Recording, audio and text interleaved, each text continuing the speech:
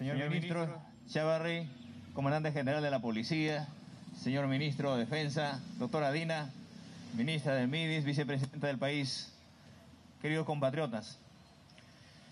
Nosotros no solamente venimos acá a dar muestras del enorme esfuerzo que hace nuestra policía.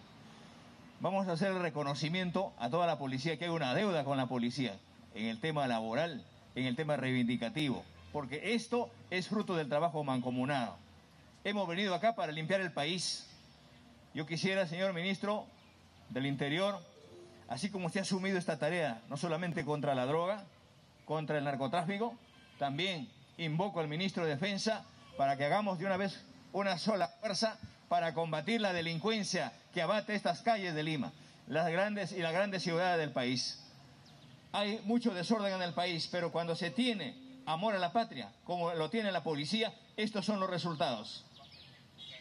Creemos importante decir al país que la lucha contra el narcotráfico, con la lucha contra otros vicios y otros grandes problemas que tiene el país, la tenemos que asumir con gran responsabilidad. Imagínense en tres meses tener estos resultados, más de 11 toneladas de este producto nefasto que daña a la sociedad, a la juventud, que lleva por otro camino a la sociedad. Y por eso creemos conveniente manifestarla de que repotenciar este trabajo a la Policía Nacional. Cuente con nuestro apoyo, pero también, así como se hizo un informe en una de, los, de, los, de las sesiones del Consejo de Ministros, que también hay que batallar allá para que de una vez por todas terminar con estos centros y estos puestos de maceración que las tienen identificado. Estoy seguro que se va a hacer.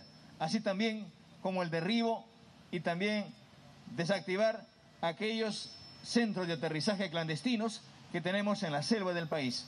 Me sorprende haber encontrado en lugares tan sanos como Condorcanqui, en lugares tan sanos como el Cusco, que hoy ha inundado estos problemas sociales como el narcotráfico en, lugares y en ciudades tan importantes.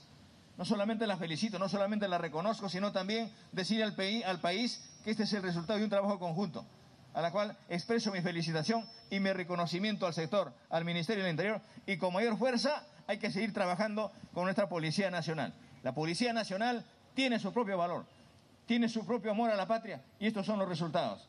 Pero también reitero de que nuestras Fuerzas Armadas ya hoy en día están poniéndose a disposición de la patria para combatir la delincuencia en el país, para, para combatir estos flagelos que existen en todos los lugares del país.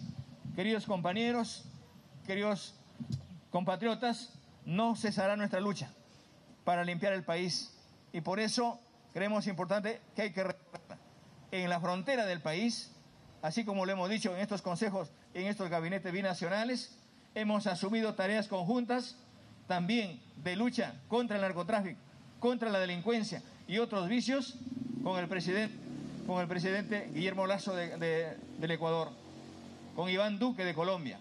Recientemente lo hemos hecho con el presidente Bolsonaro, que es una lucha permanente para ver esta la zona, la frontera más larga del país. Cuando Lucho Arce y recientemente con el presidente Boric de Chile. Hay un compromiso también para que estas zonas de fronterizas se haga un trabajo en conjunto. No me queda más que reconocer y felicitar a la Policía Nacional y que se siga trabajando por el bien del país. ¡Viva la Policía Nacional! ¡Viva, el Perú! Muchas gracias.